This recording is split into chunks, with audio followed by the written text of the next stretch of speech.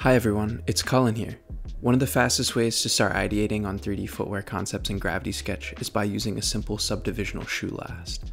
This technique creates ideas without the need of sketching or sculpting from scratch.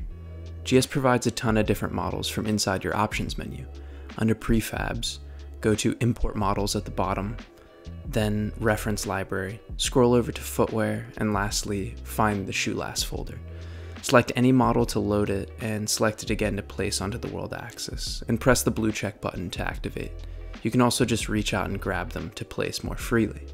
At this stage, a helpful technique is duplicating the last, enlarging it around the original, and then decreasing the transparency of the outer last.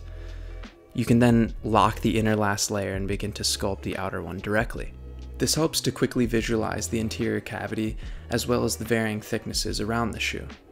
Once you have your outer last in edit mode, you're enabled to begin changing its form using the sub-D editing tools.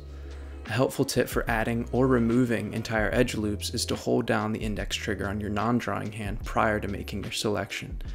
You'll notice the edge loop become highlighted.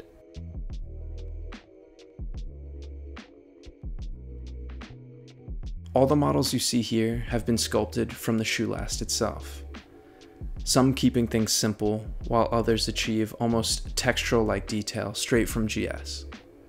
Another way to rapidly build forms within Gravity Sketch is to combine other sketch objects with the shoe last, with the ability to convert and merge the objects together later on. You can then edit the separate sketch objects as one cohesive form. Remember that any GS tool can be converted to a sub-D object, allowing the ideation phase to quickly meld into the prototyping stage. Give this workflow a try and share with us what you end up creating.